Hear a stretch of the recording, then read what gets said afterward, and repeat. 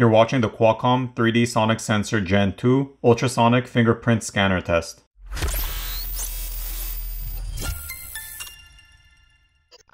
Samsung has incorporated the new Generation 2 ultrasonic fingerprint scanner in all three of the new Galaxy S21s.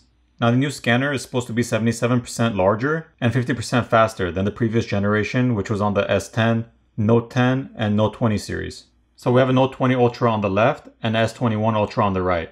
The Note 20 Ultra on the left has the previous generation scanner, and the S21 Ultra on the right has the new second generation scanner. I've also set up my fingerprint scans on each of the phones so they're ready to go. Now let's see if that generation 2 scanner is better than the first generation.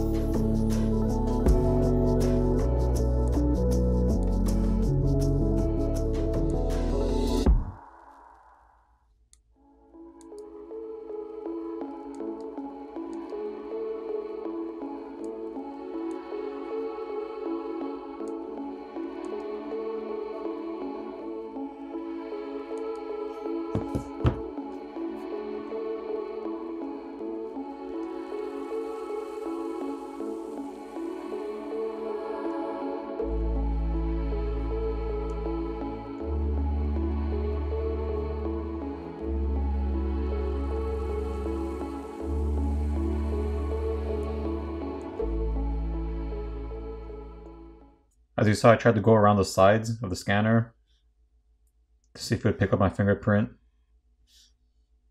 But it seems to be the same on both of them. I don't really see any improvement as far as the size of the scanner or the surface area where it's supposed to scan.